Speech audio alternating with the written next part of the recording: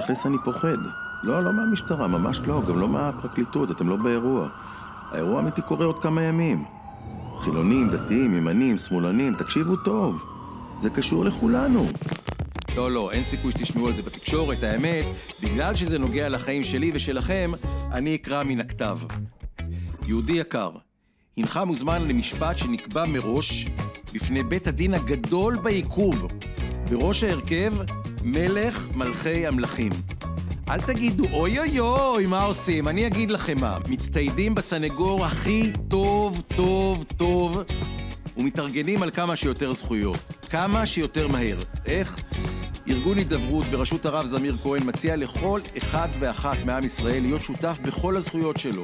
תמיכה בחיילים בודדים, עזרה לחד-הוריות, תמיכה בקשישים, קירוב רחוקים, חסד לאלמנות ויתומים, ועוד המון מצוות שכולן ייזקפו לזכות השותפים. חותמים על שטר שותפות ואתם בפנים. אני כבר חתמתי, עכשיו אתם.